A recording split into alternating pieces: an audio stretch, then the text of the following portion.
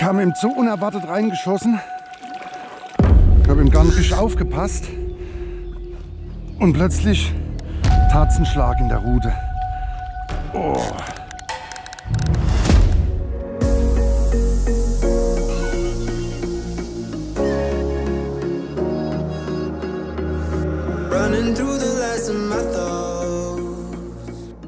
Hi, ich grüße euch hier zu einem neuen Video.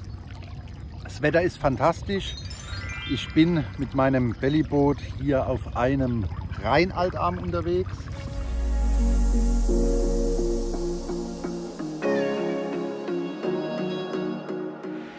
Und der Plan ist, aktiv auf Waller zu angeln. Ich habe hier mit unserem Fireball mir ein saftiges Tauwurmbündel gebaut. Eine leichte Rute am Start und ein Wallerholz. Ich hoffe, es wird spannend. Ich hoffe, wir sehen ein bisschen was. Und vielleicht mit etwas Glück fangen wir sogar einen Fisch. Ab geht's.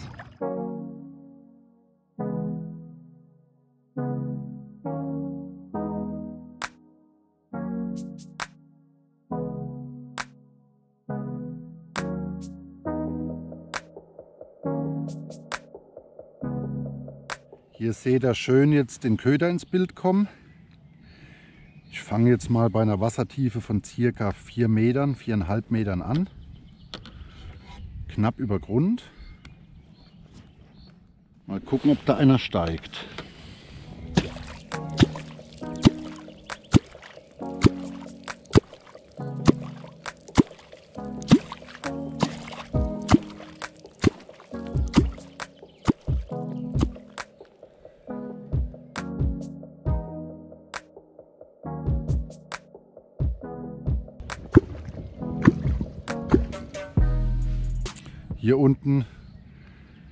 Ist unser Wurmbündel. Es sind zwei Linien. Die obere Linie wird der Fireball sein und darunter der hängende Drilling mit den Tauwürmern. Der zweite Haken am System. Wir lassen uns jetzt einfach mal langsam hier mit dem Wind durchtreiben. Das ist ganz praktisch, dass wir jetzt ein bisschen Drift, ein bisschen Wind haben.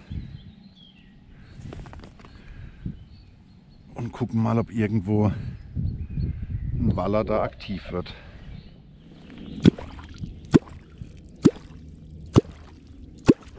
Hier ist ein kleiner Fisch. Seht ihr? Angestiegen, wieder runtergegangen.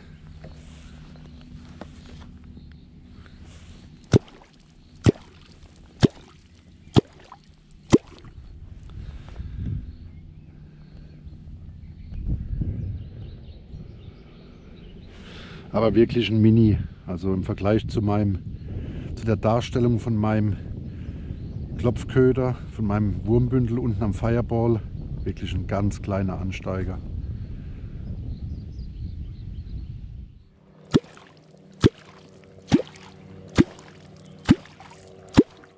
Ganz wichtig ist, wenn ihr in so stehenden bzw. ganz langsam fließenden Gewässern unterwegs seid, jetzt kommt gerade wieder ein Fisch hier unten,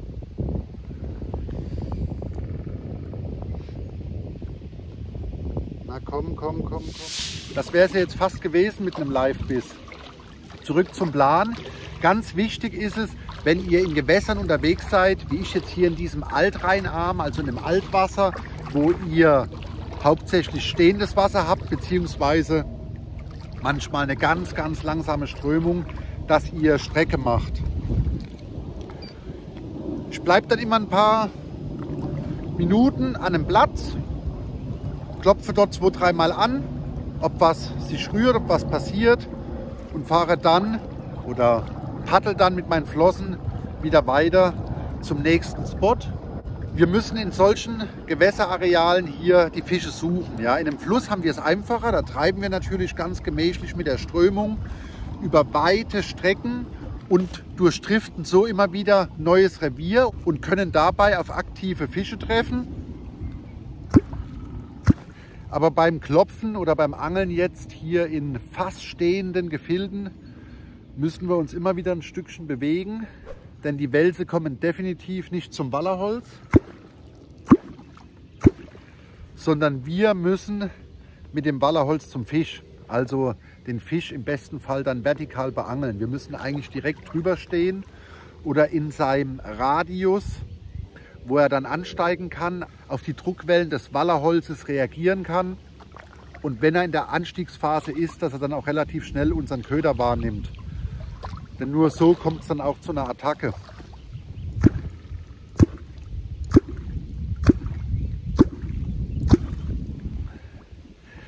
Ich kriege jetzt hier ein bisschen Wind auf dem Teich und werde mich jetzt auch mal ein bisschen mittiger setzen in die Windschneise rein, in der Hoffnung, dass mich der Wind dann hier langsam über die Wasserflächen drückt und ich so in kurzer Zeit, auch ohne dauernd den E-Motor anmachen zu müssen oder meine Flossen zu gebrauchen, mehr Gewässerstrecke abfischen kann. Das Wasser ist noch nicht allzu warm. Ich schätze, dass die Wälse irgendwo an ihrem Standort liegen. Und wenn wir da nicht genau, auch durch Zufall oder Glück, drüber treiben und den Waller mit dem Wallerholz animieren, wird es nichts werden. So, wir gehen jetzt mal ein bisschen hier weiter rein. Tiefe ist gleichbleibend die ganze Zeit. Es variiert immer so zwischen 5,5 und 7 Metern. Ich habe bis jetzt noch kein richtiges Wallerloch gefunden, wo sie sich vielleicht verstecken.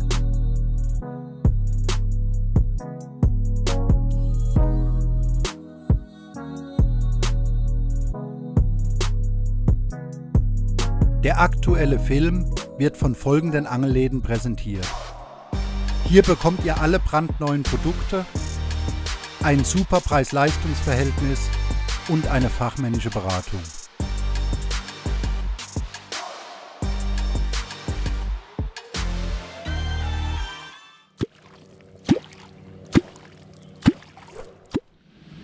Komm, komm, komm, geht wieder runter.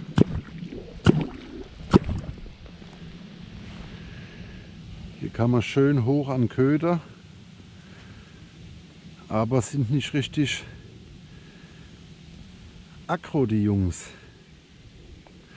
Aber das ist jetzt bis jetzt die beste Sichel, die wir drauf hatten.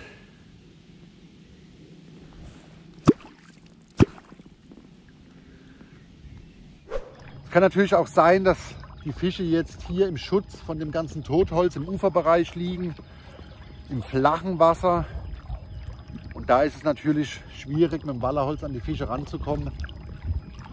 Mal gucken, wir gehen jetzt mal ein bisschen mittig hier, ob uns der Wind ein bisschen mitnimmt. Dann lassen wir uns mal hier langsam runtertreiben. Ihr seht schon im Hintergrund, was das für eine riesen Wasserfläche ist. Ne? Die können da überall und nirgends lauern. Und da müssen wir uns halt durch paddeln hier, durchackern. Aber ich denke, wenn wir auf einen treffen, ihr seht ja aktuell auch nicht viel los hier mit Anglern. Und ich denke, wenn wir direkt auf einen treffen, der Bock hat, geht es auch krumm.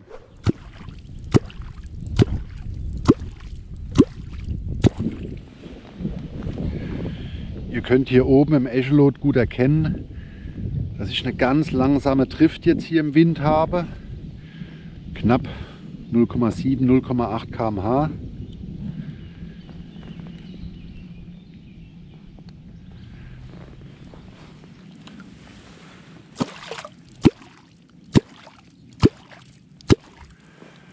Und die Faustregel besagt, je langsamer ihr auf dem Gewässer unterwegs seid, desto weniger solltet ihr auch klopfen.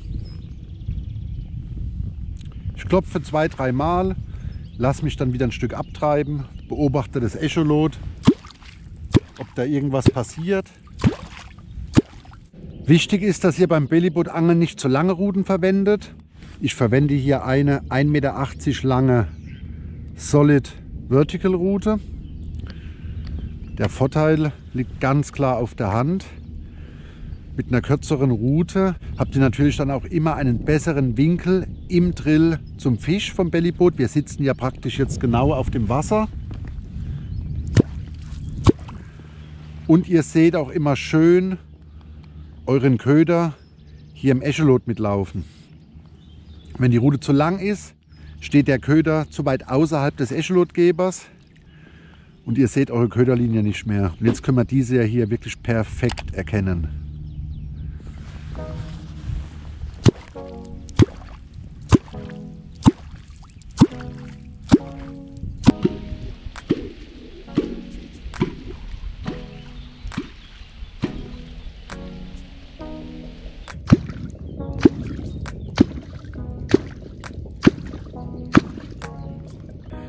So spannend und kurzweilig, dieses Angeln vom Bellyboot mit wenig Gerät. Wenn ich dran denke, als beim Uferangeln, was man da alles mitschleppt, was man da alles immer vorbereiten muss. Und hier seid ihr nur mit einem Schwimmreifen, also mit dem Bellyboot, Wallerholz, paar Tauwürmer und einer leichten Route unterwegs. Und ich muss sagen, es gibt wirklich auch unbequemeres Angeln, ja.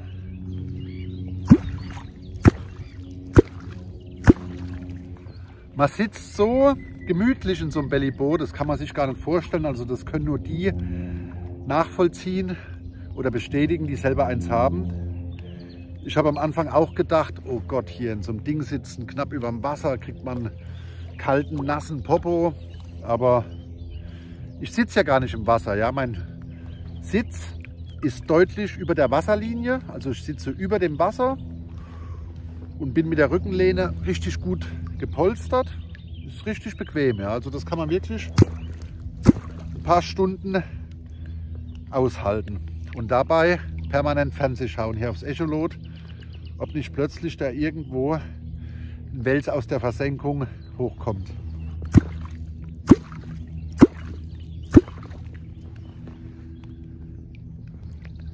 Glaube, da kann Netflix einpacken. Ne? Und man hat natürlich die Möglichkeit, immer nur für ein paar Stündchen, wie man so Zeit hat, in kurzen Zeitfenstern auch mal schnell aufs Wasser zu gehen, wenn man ein betreffendes Gewässer, ein entsprechendes Gewässer in der Nähe hat, ohne weite Anfahrtswege.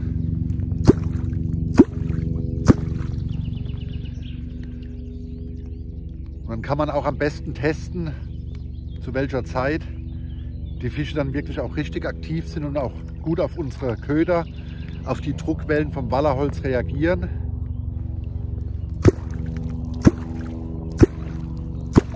Manchmal sind es die Morgenstunden, die Fische bringen. Manchmal der Mittag, wenn die Sonne richtig aufs Wasser kocht. Aber oft auch die Abendstunden oder auch die Nachtzeit. Ja. Ich konnte auch schon nachts richtig gute Fänge erzielen. Aber in der Regel ist es wirklich doch das aktive Angeln mit dem Wallerholz, ein kurzweiliges Angeln für die Tageszeit. Ja. Also, oh, jetzt kommt einer hier gerade hoch. Achtung, seht das? Kein Riese, aber ein kleiner Fisch ist angestiegen. Die Großen lassen noch auf sich warten. Aber wie eben euch schon erklärt, man muss da auch wirklich ein bisschen testen, welche Zeit die effektivste ist. Ja. Ihr seht ja, das Wasser ist nicht sonderlich trüb, es ist sehr, sehr klares Wasser und es kann sein, dass jetzt die Morgenstunden oder auch die Phase, wo es langsam dunkel wird, wo das Licht langsam weggeht, dass die Fische da aggressiver reagieren auf den Sound, auf die Druckwellen von unserem Wallerholz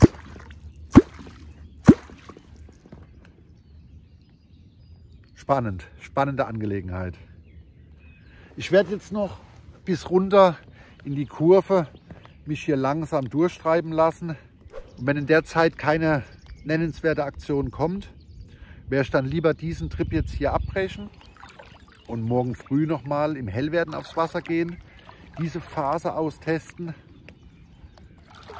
Ist ja gleich alles passiert, ja. Muss nur das Bellyboot in den Bulli schmeißen Warthose an, Flossen an und schon sind wir wieder auf dem Wasser.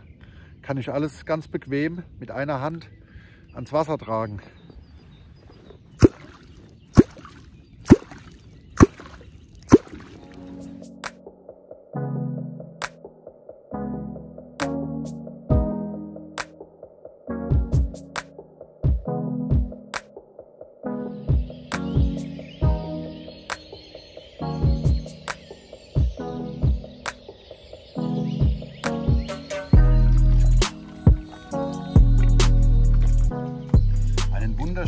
Morgen. Heute bin ich deutlich früher dran. Wir haben halb sechs. Wird jetzt schon langsam hell. Vögel kreischen da oben von den Bäumen runter. Mal gespannt, ob jetzt im Morgengrauen ein bisschen mehr Aktion hier im Altarm geboten ist.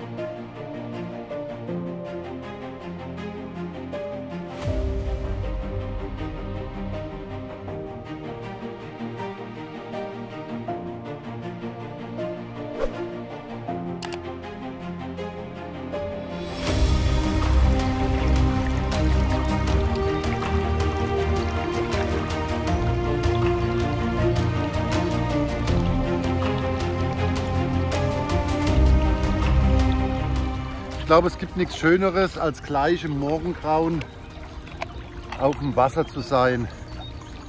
Ich werde jetzt noch schnell und gemütlich hier draußen frühstücken, während ich zu meinem Angelplatz rausfahre. Und dann mal schauen.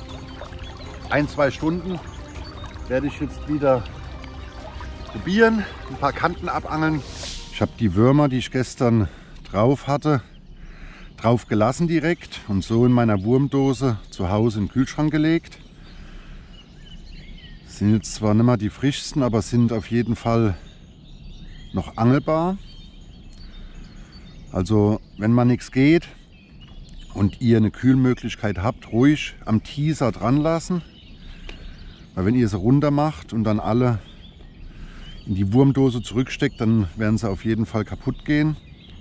Ich lasse dann in dem Fall am Angelköder dran. Wenn ihr am Wasser draußen bleibt, könnt ihr sie einfach ins Wasser hängen. Und ansonsten einfach daheim im Kühlschrank, das halten sie aus. Noch ein paar frische jetzt dazu.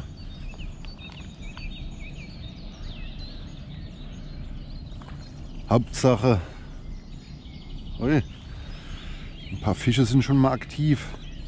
Hauptsache, ihr habt ein schönes pulsierendes Bündel da unter Wasser.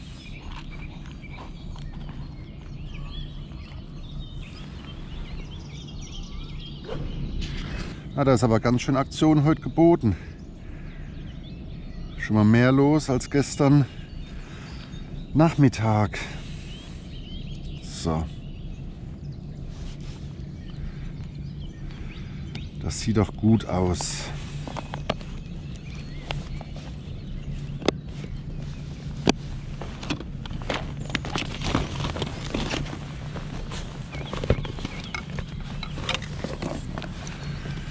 Habe jetzt noch mal zum zusätzlichen Reiz als Geruchsbombe unser Bloody Worm Spray dabei. Das könnt ihr ab und zu auch mal probieren. Ich verfeine damit sehr gerne den schon sehr starken natürlichen Geruch der Würmer. Und mir kommt es auch vor, als ob die Würmer dadurch noch mal bisschen mehr Action machen, weil sie den Geruch selber nicht mögen. Ja. Ihr seht ja, wie die jetzt hier anfangen zu zappeln. Ja, ab und zu kann so ein Flavor Spray wirklich auch Wunder wirken. Habe schon gute Erfahrungen mitgemacht. So. 6 Meter Wassertiefe. Ihr seht dann noch mal schön im klaren Wasser,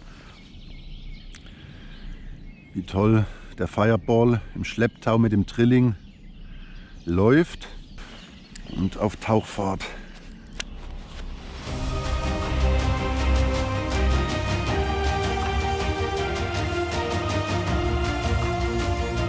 Hier kommt er ins Bild.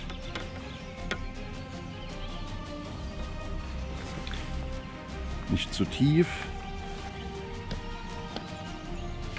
Hier hat sich schon ein bisschen was interessiert dafür.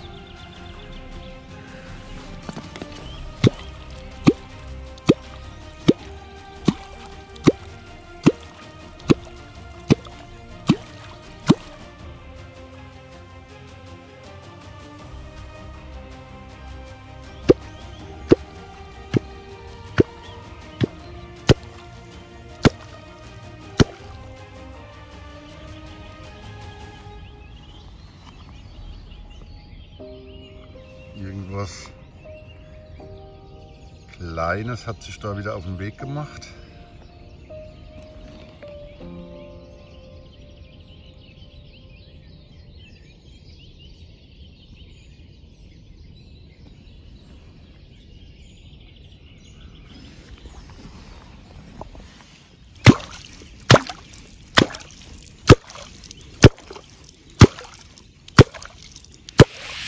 so ruhig jetzt hier am Wasser. Das schallt so durchs Rheintal.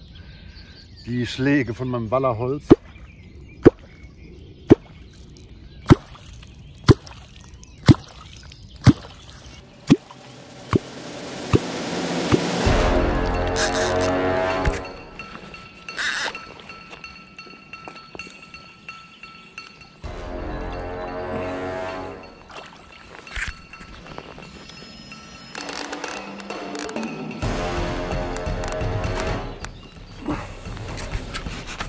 Geil. Wahnsinn.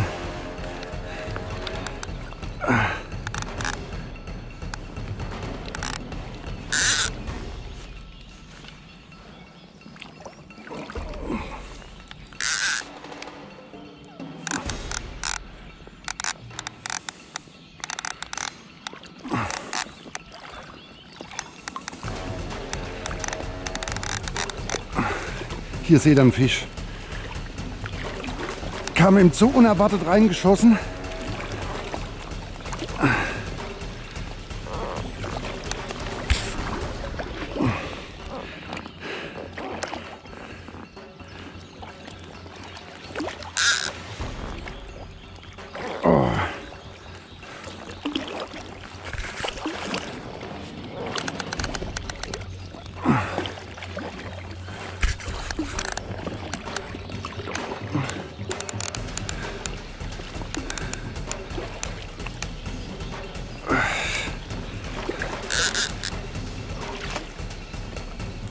Will mehr zu.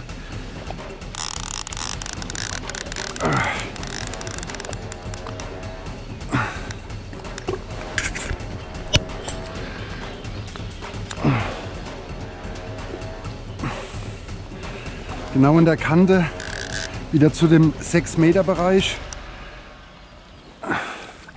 Ich habe im gar nicht aufgepasst und plötzlich tat es einen Schlag in der Rute. Oh.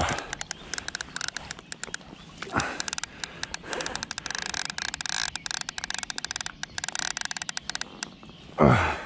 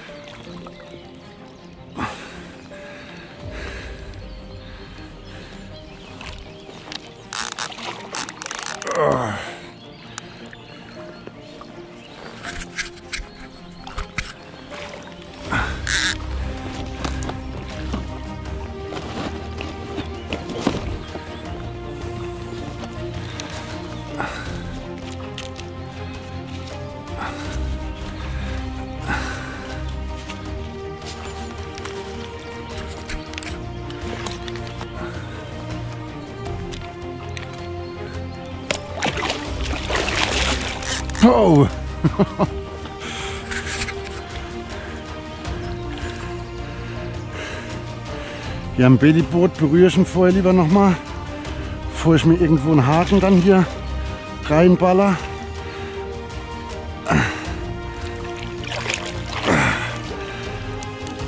Wahnsinn.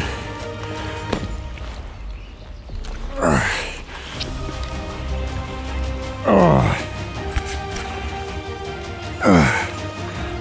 Wahnsinn. Oh. Komm hoch. Oh. Jetzt fährt der E-Motor los.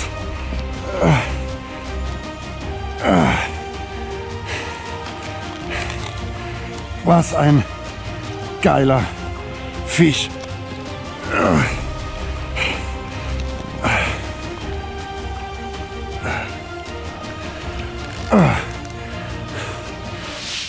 Schaut euch mal diesen starken Fisch hier an. Ich guck mal, ob ich ein Stück irgendwo ans Ufer komme, dass ich da meine Kamera mal ein bisschen an den Baum machen kann. Da zeige ich ihn euch mal in voller Länge. Ah, Wahnsinn. Morgenstund hat Weltsglück gebracht. Geil. Schaut euch mal diesen starken Waller an. Toller Fisch. Guckt mal hier hinten am Schwanzende. Ich hoffe, ihr erkennt es. Ich weiß jetzt nicht genau, wie die Kamera ausgerichtet ist. Fehlt ein ganzes Stück oben von der Schwanzflosse. Oh. Geil. Wahnsinn. Hat sich wirklich gelohnt, heute früh aufzustehen und bei Zeiten auf dem Wasser gewesen zu sein. Ich weiß jetzt gar nicht, kann den Fisch hier jetzt schlecht messen, aber ist auch komplett, komplett egal, komplett Nebensache. Bin mega happy, absoluter Hammer. Also mir steckt immer noch richtig das Adrenalin in den Knochen drin. Ich werde jetzt noch ein, zwei Stündchen weiter angeln. Denn wenn man dann so eine aktive Phase hat, der Fisch kam ja relativ schnell, wir waren vielleicht eine halbe Stunde auf dem Teich, dann sollte man noch mal dranbleiben. Vielleicht kommt ja noch einer. Und dann werde ich mal diesen gemütlichen Altarm hier verlassen und werde euch mal mit in die Großstadt nehmen mit dem Billyboot. Diesmal auf den großen Fluss. Das wird richtig spannend.